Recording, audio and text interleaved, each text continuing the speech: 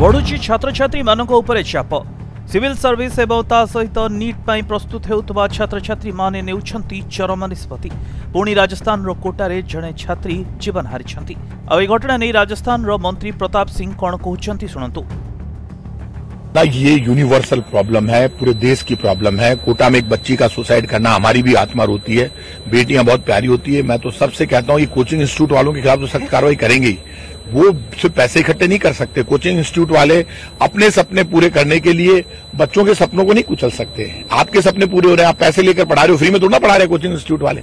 तो आपको काउंसलिंग भी करनी पड़ेगी, बच्चों के लिए एंजॉयमेंट के साधन भी, मनोरंजन क्या होता है पिक्चर भी दिखानी पड़ेगी पार्क में भी घुमाना पड़ेगा। उस पैसे में आप हिस्सा तो निकालोगे हमेशा फ़ीस बढ़ाते ही रहोगे।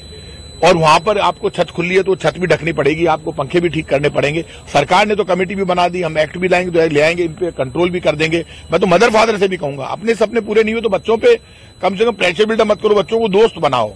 बच्चों के टच में रहो मदर फादर को, सबको ये तैयारी करनी पड़ेगी। और सरकार अपनी तरफ़ से जान लड़ा देगी, हमने, हमें चाहे कुछ भी करना पड़े। कोचिंग इंस्टीट्यूट के खिलाफ सख्त कार्रवाई करनी पड़ेगी, करेंगे। रूल्स रेगुलेशन बनाने हुए बनाएँगे। काउंसलिंग का प्रोग्राम हमने भी चालू किया, हमारी जो सरकार कर सकती है, सब कुछ करेगी, लेकिन सुसाइड रोकने के लिए जान लड़ा देगी छात्र छात्री मानव मानसिक चाप ଏତେ ପକାଯାଉଛି ଯାହାଦ୍ୱାରା ସେ ନିଜ ଜୀବନ ହାରିଦେବାର ନିଷ୍ପତ୍ତି ନେଉଛନ୍ତି।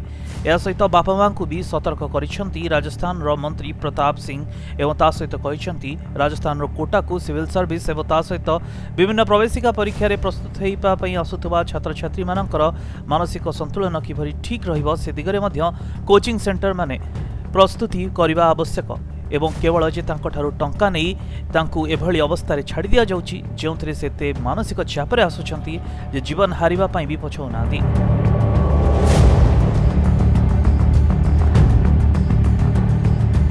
ତେବେ ରାଜସ୍ଥାନରେ ପୁଣି ଜଣେ ଛାତ୍ରୀ ନିଜ ଜୀବନ ହାରିଛନ୍ତି ଯିଏକି ନିଟ୍ ପାଇଁ ପ୍ରବେଶିକା ପରୀକ୍ଷା ଦେବା ପାଇଁ ଆସିଥିଲେ ରାଞ୍ଚି ଝାଡ଼ଖଣ୍ଡର ଏହି ଛାତ୍ରୀ ଜଣକ କୋଟାରେ ରହି ନିଜେ ନିଟ୍ ପାଇଁ ପ୍ରିପେୟାର ହେଉଥିଲେ ଏବଂ ଏହାପରେ ମାନସିକ ଚାପରେ ଆସି ଏଭଳି ନିଷ୍ପତ୍ତି ନେଇଛନ୍ତି ତେବେ ଦିଗରେ ଯତ୍ନବାନ ହେବାର ଆବଶ୍ୟକତା ରହିଛି ବୋଲି କହିଛନ୍ତି ରାଜସ୍ଥାନର ମନ୍ତ୍ରୀ ଏକ ତଥ୍ୟ ହିସାବରେ ରାଜସ୍ଥାନର କୋଟାରେ ଦୁଇହଜାର ତେଇଶ ମସିହାରେ ହିଁ ପଚିଶ ଜଣ ଛାତ୍ରଛାତ୍ରୀ ବର୍ତ୍ତମାନ ସୁଦ୍ଧା ଆତ୍ମହତ୍ୟା କରିସାରିଛନ୍ତି ତେବେ ରାଜସ୍ଥାନର ଏହି କୋଟାରେ ବଢ଼ୁଥିବା ଛାତ୍ରମାନଙ୍କ ମୃତ୍ୟୁ ପଛରେ କୋଚିଂ ସେଣ୍ଟରକୁ ଅନେକ ଦାୟୀ ବି କରିଛନ୍ତି। ବ୍ୟୁରୋ ରିପୋର୍ଟ ପ୍ରଦିନ ଟିଭି।